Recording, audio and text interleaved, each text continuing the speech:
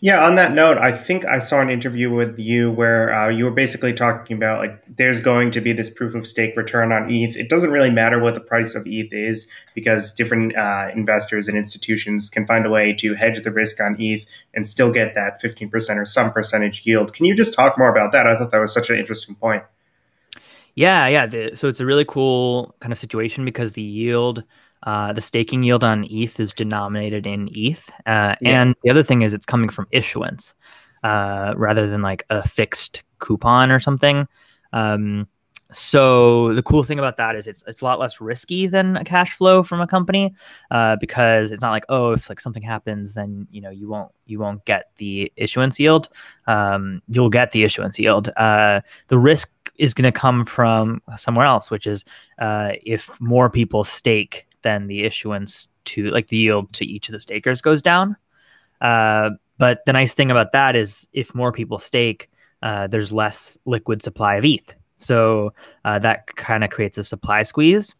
Um, and then kind of to go back to what you're saying, I just I looked at it and I was like, there's going to be a ton of incentive to stake the, your Ethereum because it's not just about like absolute yields.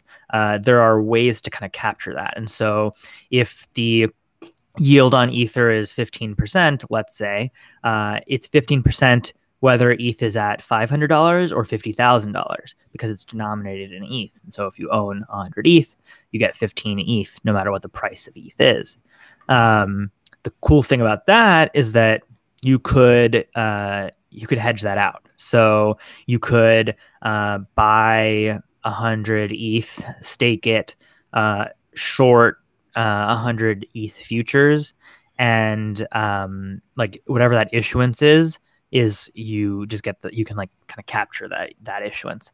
Um, and I mean that's a really like crude mechanism of doing it. I think there's going to be a lot of like more sophisticated uh, yield uh, products that I mean, it's DeFi. We're going to create financial products for it. yeah. So, so it's like it, you're not going to need to do go through all that to do it. I think, but the point is like there's no like yields aren't going to stop going down because oh like 7% is like a good discount rate or something.